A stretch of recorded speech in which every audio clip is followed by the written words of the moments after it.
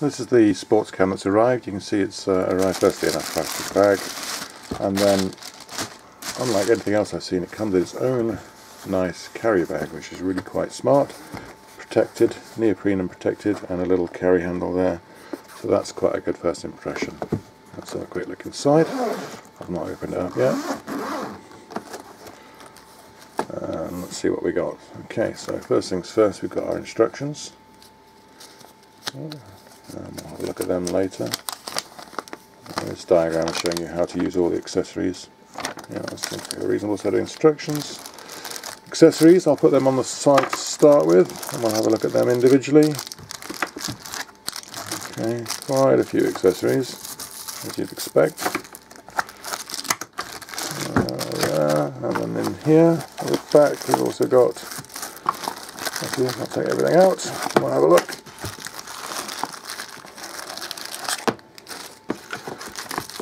Okay, and then the camera itself.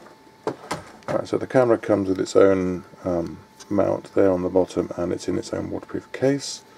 We'll have a look at that in a second once we've had a look at the accessories, see what we've got. So we start off with some sticky pads and a wire cable connector for um, connecting to whatever you feel like you want to with sticky pads obviously. Okay, you get some cable ties, quite useful for making sure things don't fall off. Some velcro straps which I'll be using later to attach it to a remote controlled car. Uh, a lens cleaning cloth now, probably, if this is anything to go by, the original um, case that it comes in has is waterproof to 30 meters, but because of that, the the back door doesn't let in much sound, as you'd expect. So I think this is probably a replacement door for um, just general use. That's not so waterproof. It might not be waterproof at all, but it lets a lot more sound through. But I will check that in the instructions. You then get your charging cable, and that is a uh, standard micro USB charging cable, which is good. Um, these are clamps to attach to other parts. Both have sticky pads on the bottom and one has a tripod mounting. You use these, you can attach those to whatever that can go on a tripod obviously and then this part of the uh, main body will clip in, clips in like that and you have to push it in and slide it in. I'll do that in a second because I need my hands free. But that slides in there, and then that can be mounted on something. I'll be using this later on my remote control car, so you'll get a better look at that later. Um, this is uh, a bicycle mount or, or, something similar, so you release these two clips and that can go around a handlebar or something. Anything you like circular around and about that big it can go around. Um, that's a vertical clamp similar sort of thing. And it's a rotatable one so you can rotate it quite happily. That looks like another one. Another one of these upright ones um, in fact I might be using that in conjunction with that on my remote control car. So these have holes in them so you can also put the velcro straps through those holes.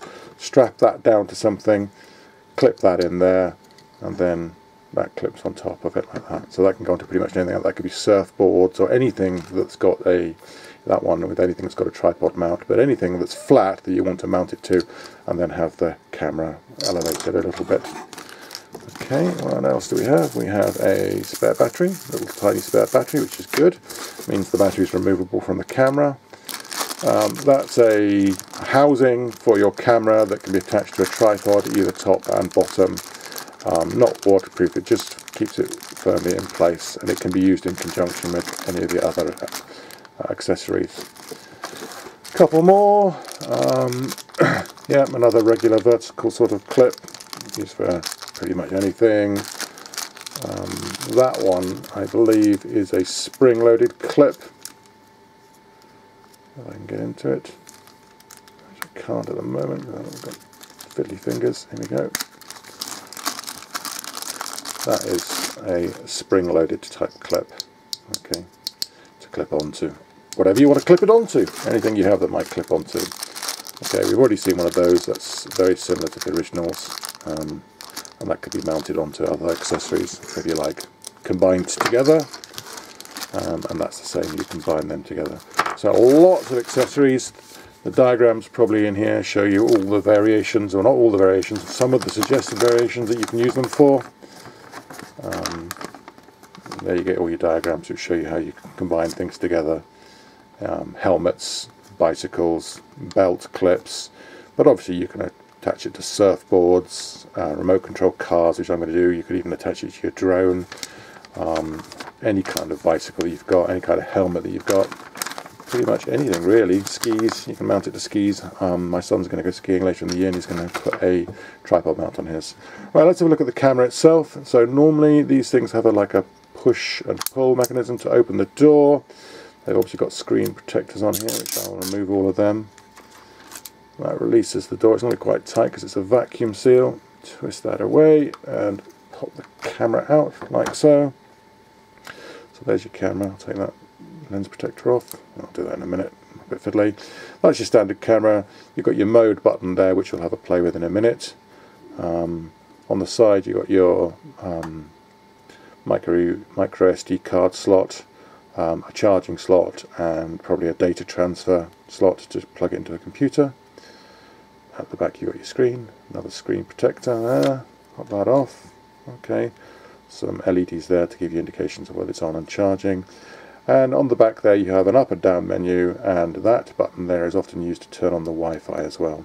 Okay, and on the top you have OK.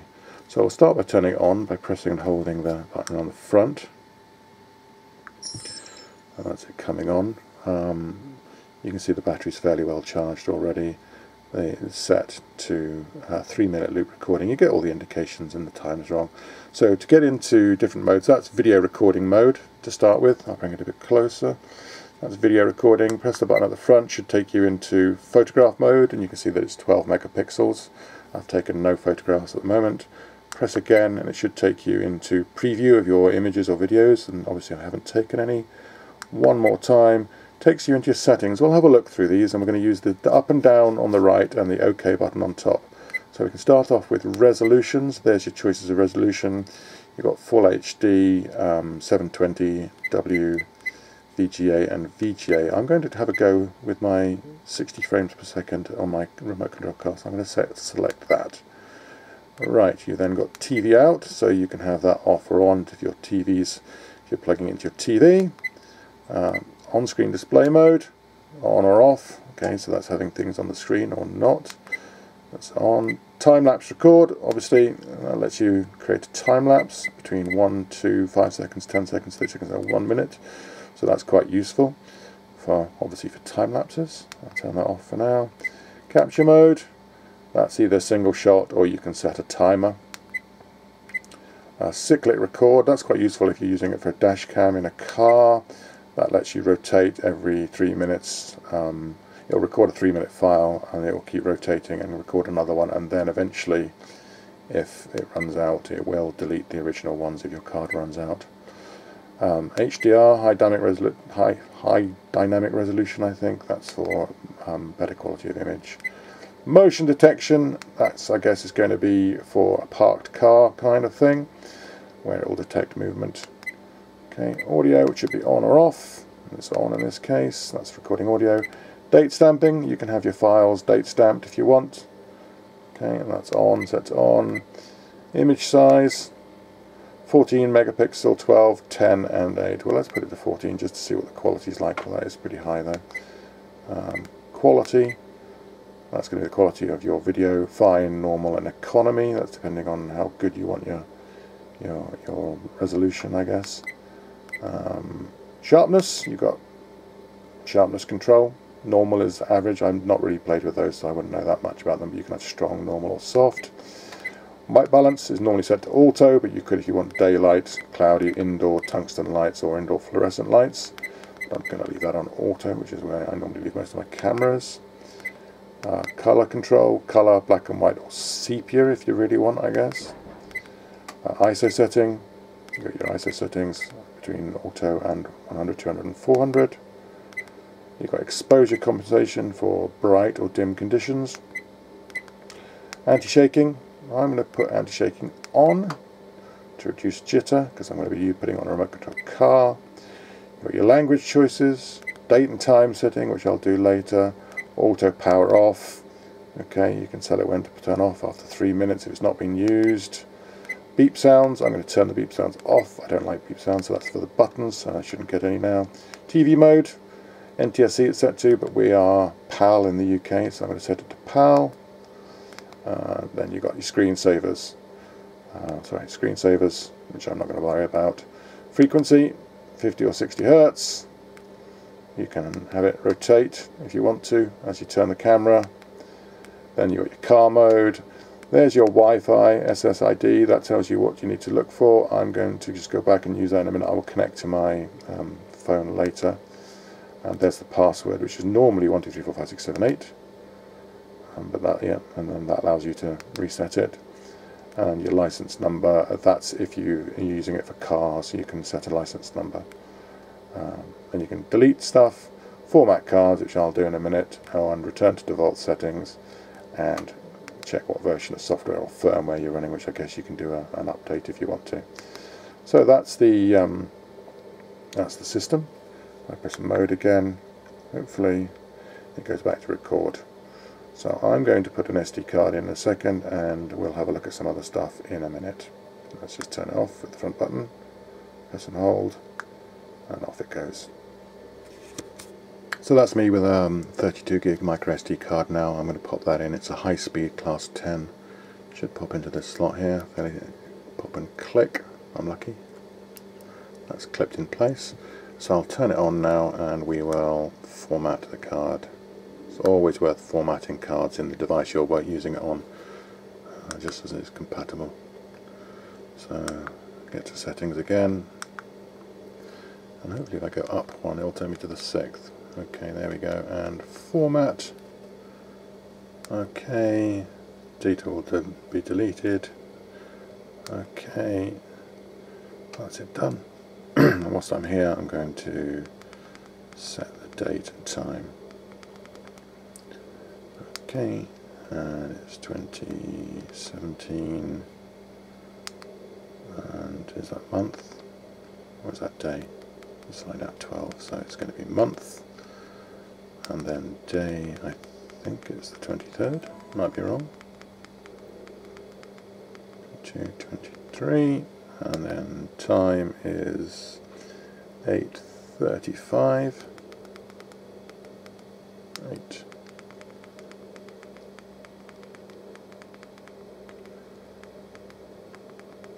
5 uh, doesn't matter seconds. And we've got years month and days so that's fine. That's me happy with that okay so I'll press that again and and turn off So that's card formatted and date set. So if you are wondering what I'm going to test this with, I'm going to use this remote control car here. So I've used one of these standard brackets, um, I've clipped the extra one into it, and then I will mount the camera on there. I'll show you a video of that in a minute. And I've used the Velcro straps, which are going to go around my car like so, and this car can actually do about 40 kilometers an hour, so this is going to give quite a good test um, of its performance.